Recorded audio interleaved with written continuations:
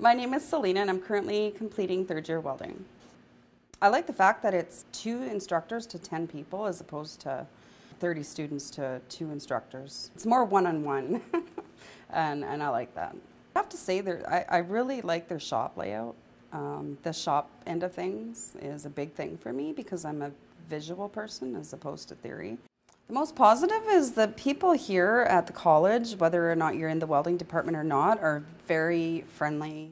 It, it just kind of feels like home when you're away from home. My future plans uh, when I'm done here is to continue getting a few more tickets in the welding, um, as well as I'd like to get another ticket, pipe fitting, possibly Boilermaker. Uh, the more the better. My name is Jeremy and I'm currently completing third period welding. I decided to take my training at Portage College because I took my first period and my second period and I really enjoyed it. The experiences at Portage that I enjoyed the most was the equipment that we got to use and the different processes that we got to learn and get good at over the years. The types of equipment that we were able to use at Portage are Lincoln welders and millers.